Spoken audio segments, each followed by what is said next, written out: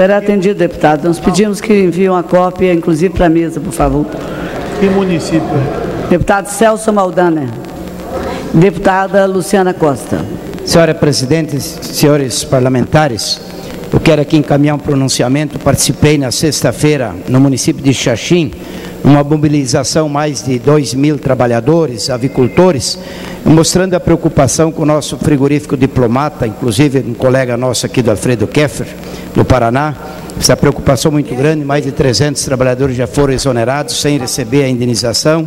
Estamos preocupados realmente com, esse, com as agroindústrias, com as dificuldades que estão passando, com a aquisição de milho, dos custos, então estamos muito preocupados para encontrar uma solução é, com o diplomata, quem sabe a cooperativa Aurora assumindo, quero encaminhar aqui um pronunciamento sobre esse assunto.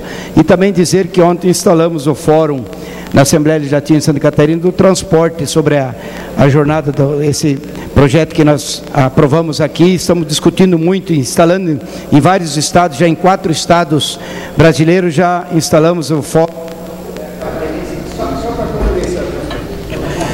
É, em quatro estados já foi instalado o fórum é, parlamentar também para acompanhar de perto esse, essa falta de infraestrutura para nós adequarmos é, é, esta lei que aprovamos aqui no Congresso Nacional e que não tem condições de implantar é, é, no nosso país enquanto, enquanto não tivermos a infraestrutura logística, principalmente para estacionar os caminhões, enfim. Então é muito importante nós mobilizarmos todos os estados brasileiros é, referente a essa lei que nós aprovamos aqui dos transportes dos caminhoneiros. Muito obrigado, senhora presidente.